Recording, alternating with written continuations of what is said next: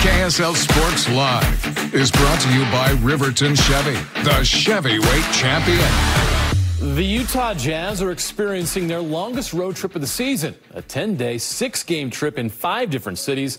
The latest stop is in Brooklyn, and the wear and tear of the road caught up to the Jazz tonight. The Nets welcoming former All-Star Ben Simmons back to the lineup, first game since November. This play was nice for the Jazz. A bullet outlet pass from Lauri Markkanen to Simone Fontecchio for the dunk. Jazz just down two at that point. The Jazz in the first quarter with a Keyonte George buzzer beater. He led the team with 21 points, but the Jazz trailed 43-28 after one and could never catch up. Mikal Bridges, 33 points.